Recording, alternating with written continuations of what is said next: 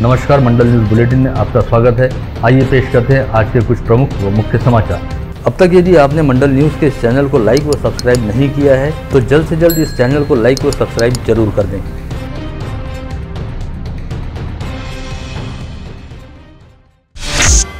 ज़िले की सांसद नवनीत राणा ने आज शंकर नगर परिसर स्थित अपने आवास पर बुलाई गई पत्रकार परिषद में कहा कि राजापेट रेलवे उड़ान पुल पर शहर के शिव प्रेमी नागरिकों द्वारा छत्रपति शिवाजी महाराज की प्रतिमा स्थापित की गई थी। यदि यह नियमों का उल्लंघन था तो प्रशासन ने पुतले को उसी स्थान पर ढांक कर रखना चाहिए था, लेकिन वहाँ से पुतला हटाने के साथ ही चबूतरे को भी तोड़ दिया गया, जिससे शिव प्रेमियों की भावनाएँ आहत हुई और स्याही फेंकने वाली घटना घटित हुई, जो हालाँकि अपने आप में कोई बहुत बड़ी घटना नहीं थी, लेकिन इसे लेकर जिस तरह से राजनीतिक रंग दिया गया और जिन लोगों का इस मामले से कोई लेना देना नहीं, उनके खिलाफ सीधे धारा 307 के तहत हत्या के प्रयास का मामला दर्ज किया गया। उससे हम डरे नहीं है, बल्कि हमारा हौसला और भी अधिक मज़बूत हो गया है। अब चाहे जो हो जाए, लेकिन छत्रपति शिवाजी महाराज का पुतला राजापेट रेल्वे ओव्हरब्रिज पर ही स्थापित किया जाएगा। तिच्या अप्पर पार्टवर लागलं की खालच्या पार्टवर लागलं, मग त्याचे गुन्हा ते करतात. सरळ जाऊन त्याचे दाखल होते का? आणि जे होते सकाळी जो प्रकरण झाला घटना झाली अकरा साडे अकराची वेळ आहे. रात्री बारा तासानंतर दहा तासानंतर ते गुन्हा दाखल करतात. कमिशनरचे दोन बयान आहेत. पहिले म्हणतात फक्त शाई फेकली आणि एवढे लोक जेवढे दिसतात आहे त्यांना तुम्ही जे कारवाई होते ते करा. आणि रात्री साडे अकरा वाजता नोट जाते आणि त्याच्यामध्ये गुन्ह्यामध्ये की अटेम्प्ट टू मर्डर लिहितात मारेपर्यंत ह्यावाला गुन्हा दाखल करतात. म्हणजे आज आमच्यावर झाली. उद्या कोणावरही होईल ती गुन्हा. इस समय सांसद नवनीत राणा ने एफआईआर दर्ज करने में हुई देरी के साथ ही विधायक रवि राणा के खिलाफ मामला दर्ज कराने को लेकर जिला पालक मंत्री यशोमती ठाकुर द्वारा 50 से अधिक फ़ोन लगाए जाने का आरोप लगाते हुए पुलिस की अति सक्रियता पर भी सवाल उठाए। आजपर्यंत जेवढेही घटना पूर्ण महाराष्ट्र आणि देशामध्ये घडलेले आहे, आमचे एक आमदार होते, त्यांच्यावर भर सभेमध्ये जाऊन सगळे पत्रकार साक्षी आहे तुम्ही सगळे, जाऊन त्यांचे एक थबाळ मारली होती. आदरणीय पवार साहेबांना एक व्यक्तीने जाऊन अनओळखी व्यक्तीनी मेंटलीनी जाऊन त्यांना चेहऱ्यावर त्यांनी मारलं होतं की काय फेकून मारलं होतं? मुख्यमंत्री केजरीवाल असताना प्रचाराच्या वेळी त्यांना त्यांच्या चेहऱ्यावर जाऊन एक व्यक्तीने मारलं होतं. तेव्हा तीनशे सात दाखल नाही झाली. आमचे आदरणीय पवार साहेबांचं मन एवढं मोठं की जसं तो व्यक्ती माफी मागायला आला तेव्हाच त्यांनी म्हटलं की मी तुला माफ केलं म्हणून. एवढी मोठी घटना झाल्यानंतर सुद्धा मोठे नेते त्याला बाजूनी ठेवतात. आणि या कमिशनर साहेबांना एवढा प्रश्न आहे माझं की जी घटना सकाळी बारा साडेबारा वाजता घडली राजापेठला त्याची एफ आय आर तुम्ही रात्री साडे अकरा वाजता करता. मग दहा तास आपण झोपी काढत होतो की कोणती प्लॅनिंग पूर्ण जिल्ह्याची जोडी पालकमंत्री आहे आणि के राज्यामधून जे सी एम ऑफिसमधनं जोपर्यंत फोन येत नाही तिथपर्यंत तुम्ही बयान देत नाही. पहिला बयान होता की मी कोणाला ओळखत नाही कोणी शाई फेकली मला माहीत नाही. आणि फक्त जे व्हिडिओमध्ये दिसतं त्यांच्यावर तुम्ही गुन्हा दाखल करा. हा पहिला स्टेटमेंट आयुक्त साहेबांचं कमिशनरचं आणि सगळे मिटिंग झाल्यानंतर पन्नास फोन हे रिकाम जी आहे आमची गार्जियन मिनिस्टर काड्या काड्या करणारी जी गार्जियन मिनिस्टर आहे आमच्या अमरावतीमध्ये काही काम नाही पन्नास फोन डिपार्टमेंट पोलीस डिपार्टमेंटला करते की रवी राणाला फसवा आणि याच्यामध्ये नवनीत राणाला सुद्धा फसवा आणि तीनशे सात नवनीत राणावरही गुन्हा दाखल करा. सी एमच्या ऑफिसमधनं फोन येते सी एम सांगते की दोन्ही आमदार खासदारांना या याच्यामध्ये तुम्ही तीनशे सातमध्ये अडकवा. मी एवढीच सांगते आज तुमची सत्ता आहे तुमचा पावर आहे. तुमची गार्जियन मिनिस्टर आहे. तर एवढा मोठा दुरुपयोग आजपर्यंत महाराष्ट्राची जनताने कधी घडलेला पाहिलेला नाही. हां आम्हाला टाकायचं आहे ना? इस पत्रवार्ता के बाद विगत बुधवार को राजापेट रेलवे अंडरपास में स्याही फेंके जाने की घटना का शिकार हुए मनपा आयुक्त डॉक्टर प्रवीण आष्टीकर से मुलाकात करने और उनका हालचाल जानने हेतु सांसद नवनीत राणा आज कैंप परिसर स्थित आयुक्त के सरकारी आवास पर पहुँची, किंतु अपनी तबीयत खराब रहने तथा डॉक्टर द्वारा आराम करने की सलाह दिए जाने की वजह को आगे करते हुए आयुक्त आष्टीकर ने सांसद नवनीत राणा से मिलने से इनकार कर दिया। ऐसे में अपने दर्जनों समर्थकों के साथ आयुक्त आवास पर पहुँची सांसद नवनीत राणा को वहाँ से उल्टे पाँव वापस लौटना पड़ा। आणि त्याची पूर्ण माहिती घेण्यासाठी आणि त्यांना सांत्वन करण्यासाठी मी त्यांची भेट घेत होती. आणि मला असं वाटतं की कमिशनर साहेब आणि त्यांच्या मिसेसला भेटून त्यांना मी शांत करण्याचं ह्याच्यासाठी मी इथे त्यांची भेट घेण्या आली होती. आणि माझं कर्तव्य आहे की मी त्यांना भेटली पाहिजे. आणि त्यांना राजकारण करायचं आहे काही नेत्यांचं ऐकून जर हे निर्णय घ्यायचा आहे कारण रात्री कोणाला भेट झाली आणि सात आठ लोक भेटून गेले जे लोकप्रतिनिधी आहे त्यांना भेटले आणि खासदारांना त्यांना नाही भेटायचं आणि त्यांना त्यांचा त्यांना असं वाटतं की मी नाही भेटलं तर अपमान होईल हे माझा अपमान नाही आहे हा मी पंचवीस लाख लोकांना रिप्रेझेंट करते आणि माझे जिल्ह्यात जर घर कोणती घटना घडली तर त्याचं विचारपूस करणं त्यांना सांत्वन देणं हे माझं कर्तव्य म्हणून मी इथे आले. ते नाही भेटले तर काही हरकत नाही पण त्यांनी शांततेने सगळे विषय समजून घेतल्या पाहिजे. आणि त्यांच्यासोबत मी आहे. हे आश्वस्त करण्यासाठी मी इथपर्यंत आलेली आहे. आणि ते नाही भेटले तर ते माझं एकटीचा अपमान नाही आहे माझं पूर्ण जिल्ह्याचं ज्यांना मी रिप्रेझेंट करते आणि सगळ्यांचा अपमान त्यांनी केलेला आहे. बीते बुधवार को मनपा आयुक्त प्रवीण आष्टीकर पर स्याही फेंकने के साथ ही हमला करने के मामले में नामजद किए गए और गिरफ्तारी पश्चात तीन दिन की पुलिस कस्टडी रिमांड में रखे गए अजय बोबड़े, संदीप गुल्हाने, महेश मूलचंदानी, सूरज मिश्रा व विनोद युवतीकर का हालचाल जानने हेतु आज ज़िले की सांसद नवनीत राणा राजापेट पुलिस थाने पहुँची, जहाँ पर पुलिस ने इन पाँचों के फ़िलहाल कस्टडी में रहने की वजह को आगे करते हुए सांसद नवनीत राणा को मुलाकात की अनुमति देने से इनकार किया। पश्चात सांसद नवनीत राणा ने आरोप लगाया की इन पाँच बेकसूरों के साथ पुलिस द्वारा आतंकियों व पेशेवर अपराधियों की तरह व्यवहार किया जा रहा है साथ ही उनके साथ अमानवीय बर्ताव भी किया जा रहा है। आमची जी मागणी होती, माझी जे तक्रार होती, ते मी इथे केली आहे आणि तेच जे जे नोंद येईल तेच घेऊन मी लोकपालकडेही जाणार आहे आणि हे पूर्ण प्रकरण, जे इथे या पोलीस स्टेशनमध्ये घडलं, जे मारहाणी त्यांच्यासोबत घडली, चपलांनी, जुत्यानी त्यांना मारलेलं आहे खराब परिस्थितीने त्यांना बिहेव केलेला बिहेव केलेलं आहे. जसं एखादा टेररिस्ट देशामध्ये काम करते, त्या बिहेव केला आहे. आमच्या अमरावतीमध्ये गेल्या एक वर्षापासून किती असे दंगे प्रकरण झालेले आहे एवढे मोठे मोठे दंगे इथे झालेले आहे. त्याच्यावर डिपार्टमेंट काम त्यांनी केलं पाहिजे. किती असे आरोपी आहे तीनशे शहात्तरवाले जे ज्यांच्यावर चौकशी आतापर्यंत झाली नाही ते असंच फिरून राहिले आहे. तीनशे दोनवाले आहे तीनशे सातवाले आहे. त्याच्यावर लक्ष न देताना प्रकरण हे डे बाय डे आमच्या अमरावतीमध्ये वाढतात आहे. तर त्याच्यावर लक्ष न देताना पॉलिटिकल प्रेशरची बळी हा डिपार्टमेंटचे काही लोक ज्यांच्या आम्ही रिस्पेक्ट करतो की नियमानुसार आणि संविधानानुसार हे डिपार्टमेंट चालते पण कुठे ना कुठे या डिपार्टमेंटसुद्धा पावरचे खाली दबून जे आरोपी नाही आहे त्याच्यावर अत्याचार हे महाराष्ट्रामध्ये आमच्या अमरावतीमध्ये होतं. दुर्भाग्य याच्या आधी आम्ही कधीच पाहिलेला नाही. बडनेरा रेलवे स्टेशन पर रात के समय खड़ी मेमू ट्रेन के एक डिब्बे में बडनेरा के ही कंपासपुरा परिसर निवासी योगेश घनश्याम कोरताम नामक युवक ने अपने गले में फांसी लगाकर आत्महत्या कर ली। यह घटना आज सुबह उजागर हुई। पश्चात रेलवे पुलिस मौके पर तुरंत पहुँची। मृतक युवक के शव के पास पुलिस को आधी अधूरी अंग्रेज़ी भाषा में लिखी हुई एक चिट्ठी भी बरामद हुई है, जिसमें इस युवक ने अपनी मर्ज़ी से आत्महत्या करने की बात कही है। इसके साथ ही इस चिट्ठी में यह भी लिखा है की इस युवक को कुछ लोगों के पैसे देने बाकी है। रेलवे पुलिस के पास उपलब्ध सीसीटीवी फुटेज में योगेश रात के साढ़े बजे के आसपास। रेलवे पुलिया पर घूमता दिखाई दिया। रेलवे पुलिस ने घटना का पंचनामा करते हुए आकस्मिक मौत का मामला दर्ज किया। पुलिस उप निरीक्षक राजेश वर्ट इस मामले की जाँच कर रहे हैं। पता चला है की दो वर्ष पहले योगेश के पिता ने भी आत्महत्या की थी। उधर मनपा आयुक्त प्रवीण आष्टीकर पर स्याही फेंकने व जानलेवा हमला करने के मामले में गिरफ़्तार किए गए पाँचों लोगों ने पुलिस कस्टडी रिमांड के दौरान पूरी तरह से मौन साध लिया है और पुलिस अधिकारियों द्वारा बार बार पूछताछ करने के बावजूद वे इस बारे में कुछ भी कहने के लिए तैयार नहीं है। इन पाँचों ने गिरफ्तारी के बाद दावा किया था कि उनका इस मामले से कोई संबंध नहीं है और वे स्याही फेंकने वाली महिलाओं को पहचानते भी नहीं है। तीन दिन की पुलिस कस्टडी रिमांड में रखे जाने के बाद भी इन पाँचों ने इस एक बयान के अलावा अन्य कोई नई बात नहीं कही है और इस मामले को लेकर किसी का भी नाम नहीं लिया है। ऐसी जानकारी विश्वसनीय सूत्रों के ज़रिए पता चली है।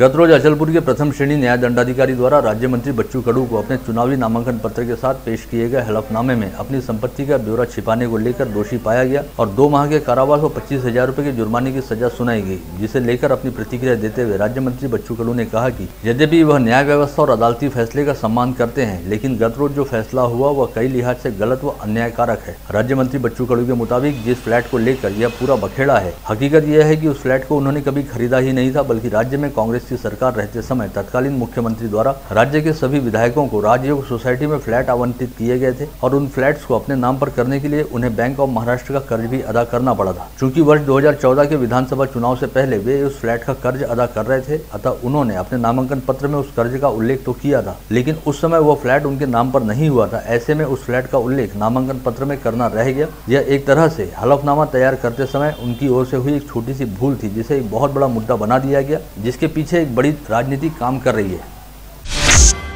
मूलतः अमरावती ज़िले के परतवाड़ा की निवासी तथा अमरावती शहर में रहने वाली न्यायमूर्ति पुष्पा गनेडी वाला ने गत रोज अपने पद से इस्तीफा दे दिया। इस्तीफा दिए जाने की यह खबर जैसे ही सामने आई तो दैनिक अमरावती मंडल द्वारा उनसे टेलीफोनिक वार्तालाप करते हुए उनके द्वारा अकस्मात उठाए गए इस कदम के बारे में बातचीत की गई। इस बातचीत के दौरान न्यायमूर्ति पुष्पा गनेडी वाला ने अपने कामकाज के साथ ही जुडिशरी क्षेत्र से संबंधित कई विषयों को लेकर अपने विचार रखे, जिसके तहत उन्होंने कहा कि एक हाईकोर्ट जस्टिस के तौर पर उन्होंने अपने ज्ञान व कौशल्य का उपयोग करते हुए पूरी निष्पक्षता के साथ अपना काम करने का पूरा प्रयास किया और वे अपने कामकाज को लेकर पूरी तरह से संतुष्ट व समाधानी भी हैं। उन्हें पूरी उम्मीद थी कि तीन साल तक हाईकोर्ट के एडिशनल जस्टिस के तौर पर काम करने के बाद उन्हें बतौर जस्टिस परमानेंट जजशिप की स्थायी व नियमित सेवा में लिया जाएगा, किंतु कुछ कारणों के चलते ऐसा नहीं हो पाया। ऐसे में दोबारा जिला व सत्र न्यायालय स्तर पर जाकर काम करने की बजाय उन्होंने इस्तीफा देना ज़्यादा बेहतर समझा और अब वे अपनी खुद की लॉ फर्म बनाते हुए हाईकोर्ट लेवल पर अपनी प्रैक्टिस करेंगी। विगत बुधवार को मनपा आयुक्त डॉक्टर प्रवीण आष्टीकर पर स्याही फेंकने के साथ ही हमला किए जाने की घटना के खिलाफ महानगर पालिका के सभी अधिकारियों व कर्मचारियों द्वारा काम बंद आंदोलन शुरू किया गया, जो शुक्रवार 11 फरवरी तक जारी रहा। वहीं शनिवार व रविवार को साप्ताहिक अवकाश है। ऐसे में जारी सप्ताह के दौरान महानगर पालिका का कामकाज बुरी तरह प्रभावित हुआ। इस समय मनपा के आगामी चुनाव के मद्देनजर घोषित की गई संशोधित प्रभाग रचना को लेकर आपत्ति व आक्षेप स्वीकार करने का काम चल रहा है, जिसके लिए अंतिम तिथि 14 फरवरी तय की गई है। किंतु जारी सप्ताह में बुधवार से काम बंद आंदोलन जारी रहने के चलते आपत्ति व आक्षेप दर्ज कराने का काम धरा का धरा रह गया वहीं अब सोमवार चौदह फरवरी से मनपा में एक बार फिर कामकाज पूर्ववत शुरू होगा। ऐसे में सोमवार को मनपा के पाँचों जोन कार्यालयों में प्रभाग रचना को लेकर आपत्ति व आक्षेप दर्ज कराने वालों की अच्छी खासी भीड़ देखी जा सकती है। विगत माह राजस्थान से हैदराबाद की ओर ले जाए जा रहे अट्ठावन ऊँटों को प्राणी मित्र संगठनों की शिकायत के बाद ज़िले की धामनगांव रेलवे तहसील में पकड़ा गया था, पश्चात उन्हें अमरावती के गोरक्षण संस्थान में लाकर रखा गया था, जहाँ पर उनके चारे पानी की व्यवस्था की गई थी। पश्चात अदालत ने गोरक्षण संस्थान को ऊँटों की खिलाई पिलाई की राशि अदा करने के बाद ऊँटों का ताबा ऊँट पालकों को देने और ऊँटों को वापिस राजस्थान ले जाने का आदेश दिया था। ऐसे में पूरी कानूनी प्रक्रिया पूर्ण करते हुए आज इन अट्ठावन ऊँटों को उनके मूल मालिकों के सुपुर्द किया गया और उन्हें अमरावती से राजस्थान जाने की अनुमति दी गई। इससे पहले इन सभी अट्ठावन ऊँटों की गोरक्षण संस्थान में टैगिंग करते हुए उनकी जानकारी को बाकायदा रजिस्टर में दर्ज किया गया और यह जानकारी भी अदालत के सुपुर्द की गई। करीब डेढ़ माह तक गोरक्षण संस्था में रखे जाने के बाद आज अदालती आदेश के पश्चात राजस्थान जाने हेतु रवाना किए गए अट्ठावन ऊँटों में से एक ऊँट की तबीयत बीच रास्ते में अचानक ही बिगड़ गई और वह गश खाकर गिर पड़ा, जिसके बाद उसे सड़क किनारे ही छाव में लिटाते हुए पशु चिकित्सकों द्वारा उसे सलाइन लगाई गई और इस ऊँट का इलाज शुरू किया गया। विगत 24 घंटे के दौरान ज़िले में 119 कोविड संक्रमित मरीज़ पाए गए। इसके साथ ही लंबे समय बाद संक्रमितों की संख्या में थोड़ा उछाल देखा गया। अब एक्टिव पॉजिटिव मरीजों की संख्या छह सौ तिरपन हो गई है। इन एक्टिव पॉजिटिव मरीजों में मनपा क्षेत्र के 248 व ग्रामीण क्षेत्र के 405 मरीजों का समावेश है। इसमें से सत्तावन मरीज़ कोविड अस्पताल में भर्ती है। वही मनपा क्षेत्र में दो व ग्रामीण क्षेत्र में तीन सौ उनासी मरीजों को होम आइसोलेशन में रखा गया है। साथ ही बीते चौबीस घंटे के दौरान ज़िले में एक सौ पैंसठ मरीज़ कोविड मुक्त भी हुए। बीते 24 घंटे के दौरान ज़िले में 1213 संदिग्धों के थ्रोट सब सैंपलों की जाँच की गई, जिसमें से 9.81 फ़ीसद की टेस्ट रिपोर्ट पॉजिटिव आई। वहीं इस समय कोविड संक्रमितों के कोविड मुक्त होने का प्रमाण सत्तानवे फ़ीसद के स्तर पर है। आज समूचे संभाग में कुल तीन सौ उनतीस कोविड संक्रमित मरीज़ पाए गए जिनमें अकोला के 35, यवतमाल के 26, बुल्ढाना के 88 व वाशिम के इकसठ मरीजों का समावेश है। साथ ही राहत वाली बात यह भी रही कि आज संभाग में 819 मरीज़ कोविड मुक्त हुए जिनमें अकोला के 77, यवतमाल के 170, बुल्ढाना के 231 व वाशिम के एक सौ छिहत्तर व्यक्तियों का समावेश है। वहीं बीते चौबीस घंटे के दौरान संभाग के अकोला ज़िले में दो संक्रमितों की मौत हुई है। विधायक सुलभा खोड़के द्वारा उपलब्ध कराई गई एक करोड़ बाईस लाख रुपए की निधि से जमील कॉलोनी प्रभाग में कई विकास कामों का शुभारंभ किया गया। साथ ही आज प्रभाग में विविध विकास कामों का लोकार्पण व भूमि पूजन खुद विधायक सुलभा खोड़के के हाथों किया गया। कोविड संक्रमण काल के दौरान अमरावती अजनी इंटरसिटी एक्सप्रेस को बंद किया गया था, जिसके कारण अमरावती से नागपुर अप डाउन करने वाले यात्रियों व व्यापारियों को काफ़ी परेशानियों का सामना करना पड़ रहा है। वहीं इन दिनों एसटी बस सेवा भी लगभग बंद है। इसके अलावा अमरावती से जबलपुर के लिए चलने वाली रेलगाड़ी भी केवल नागपुर से ही चलाई जा रही है। ऐसे में स्टेशन मास्टर के माध्यम से महानगर यात्री संघ द्वारा विभागीय रेल व्यवस्थापक को एक ज्ञापन भिजवाया गया और तेईस फरवरी तक अमरावती अजनी इंटरसिटी एक्सप्रेस सहित अमरावती जबलपुर ट्रेन को शुरू नहीं किए जाने पर रेल रोको आंदोलन करने की चेतावनी दी गई। महानगर नगर यात्री संघ के अध्यक्ष अनिल तरडेजा ने यात्रियों व व्यापारियों से इस आंदोलन में हिस्सा लेने का आह्वान किया है। आज यहाँ बुलाई गई पत्रकार परिषद में चांदूर बाज़ार के पूर्व पार्षद गोपाल तिरमारे द्वारा कहा गया कि प्रत्याशी आवेदन के साथ ही शपथ पत्र में मुंबई की प्रॉपर्टी छिपाने के मामले में चांदूर बाज़ार की अदालत ने राज्य मंत्री बच्चू कड़ू को दोषी करार देते हुए दो माह की सजा सुनाई है। ऐसे में जनता से माफ़ी मांगने की बजाय बच्चू कड़ू द्वारा लोगों को गुमराह किया जा रहा है। साथ ही राज्य मंत्री पद पर बच्चू कड़ू का बने रहना जनतंत्र का अपमान है, अतः मुख्यमंत्री उद्धव ठाकरे ने तत्काल ही बच्चू कड़ू से इस्तीफा मांगना चाहिए। ही सदनिका विकण्यासाठी परवानगी मागितलेली होती। दोन हज़ार सतरा चौदा जुलै दोन हजार सतराला म्हाडाने त्यांना ही सदनिका विकण्याची सुद्धा परवानगी दिलेली आहे. म्हणजे या सदनिकेचं त्यांनी अजूनही खुलासा केला नाही लोकांमध्ये. की ही सदनिका मी परवानगी मागितली आणि मला म्हाडाने परवानगी सुद्धा दिली आणि मी कोणाला किती रुपयात विकली हाही सुद्धा त्यांनी सगळा संभ्रम तयार केलेला आहे. आणि स्पष्ट भूमिका ही लोकांमध्ये प्रसारमाध्यमांमध्ये त्यांनी अजूनपर्यंत मांडलेली नाही.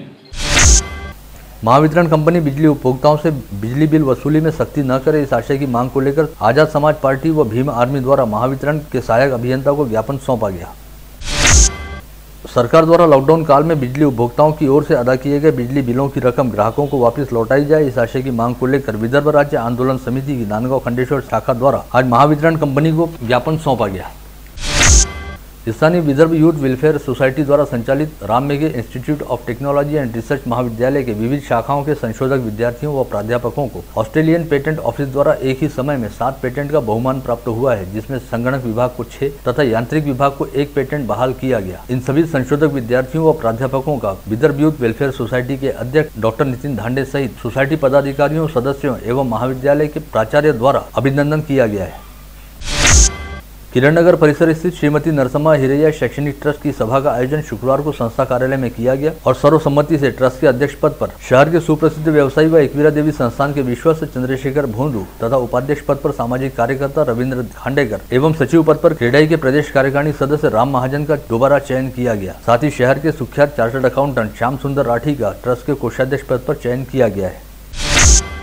शिवाजी शिक्षा संस्था द्वारा संचालित डॉक्टर पंजाबराव देशमुख स्मृति वैद्यकीय महाविद्यालय व अस्पताल के त्वचा रोग विभाग में आधुनिक कॉस्मेटिक एंड लेजर सेंटर का शुक्रवार को विधिवत उद्घाटन संस्था के अध्यक्ष हर्षवर्धन देशमुख के हाथों किया गया। इसमें संस्था के पदाधिकारी व अस्पताल के अधिकारी उपस्थित थे। बडनेरा नई बस्ती गणेश नगर स्थित सुप्रसिद्ध सिद्धिविनायक मंदिर का विशाल ग्राउंड है, जिसकी घेराबंदी की गई है। अतः सिद्धिविनायक मंदिर के विकास के लिए ट्रस्ट के पदाधिकारियों द्वारा आज भाजपा प्रदेश सदस्य व मनपा के सभागृह नेता तुषार भारती को ज्ञापन सौंपा गया। अमरावती कोंढाली मार्ग पर निर्मल सुदगिरनी के पास आज दोपहर तेज गति से जा रही कार का टायर अचानक फट जाने के कारण हुई भीषण सड़क हादसे में पति पत्नी समेत पुत्री की मौके पर ही मौत हो गई। वहीं कार चालक महिला गंभीर रूप से घायल हो गई। मृतकों की शिनाख्त मध्य प्रदेश के जबलपुर निवासी अनुपम गुप्ता, उनकी पत्नी रेणु गुप्ता, पुत्र अक्षय गुप्ता के तौर पर हुई है। वही कार चालक अनूप गुप्ता की बहन अर्चना संदीप अग्रवाल, यह गंभीर रूप से घायल हुई महिला का नाम है। यवतमाल तहसील के किन्हीं गाँव में आरडी के रुपए को लेकर एक विवाद हुआ था। इसी विवाद में परिचित व्यक्ति ने जानलेवा हमला करते हुए आरडी एजेंट के तौर पर काम करने वाले प्रकाश राठौड़ का गला काटकर उसकी हत्या कर दी। घटना को अंजाम देने के बाद अमोल पवार, वीरेंद्र राठौड़ व हेमंत पवार ये तीन आरोपी मौके से फरार हो गए। तिवसा पुलिस थाना क्षेत्र के मौदा श्री क्षेत्र छिंदुरजना बाज़ार में विलास मधुकर राव राजूरकर नामक किसान ने फांसी लगाकर आत्महत्या कर ली। जानकारी के मुताबिक यह किसान फ़सल नहीं होने की वजह से काफ़ी परेशान था। तिवसा पुलिस ने घटनास्थल का पंचनामा कर लाश को पोस्टमार्टम के लिए रवाना किया। गाड़गीनगर पुलिस थाना क्षेत्र के कॉटन ग्रीन कॉलोनी में एक महिला को नौकरी लगाने का प्रलोभन देते हुए उसकी इजाज़त के बिना उसके बैंक खाते से एक लाख उनसत्तर हज़ार रूपए ऑनलाइन तरीके से निकालकर उसके साथ धोखाधड़ी की गई। शिकायत मिलने पर पुलिस ने अपराध दर्ज कर आगे की कार्रवाई शुरू की है। बडनेरा पुलिस द्वारा पुरानी बस्ती बडनेरा के पाँच बंगला परिसर में अवैध तरीके से देशी शराब की तस्करी करते हुए तीन आरोपियों को धरा गया, जिनके पास से पैंतालीस हज़ार रुपए का माल बरामद किया गया है। बुल्ढाना अपराध शाखा पुलिस ने शेगांव शहर में मोटरसाइकिल चोरों के गिरोह को गिरफ़्तार करने में सफलता प्राप्त की है, साथ ही इन चोरों के पास से चोरी की सत्रह मोटरसाइकिलें बरामद की गई हैं। आप देख रहे थे मंडल न्यूज़ बुलेटिन। हमारे चैनल को लाइक करें, शेयर करें और हाँ सब्सक्राइब करना ना भूलें। कल होगी आपसे फिर मुलाकात, तब तक के लिए धन्यवाद।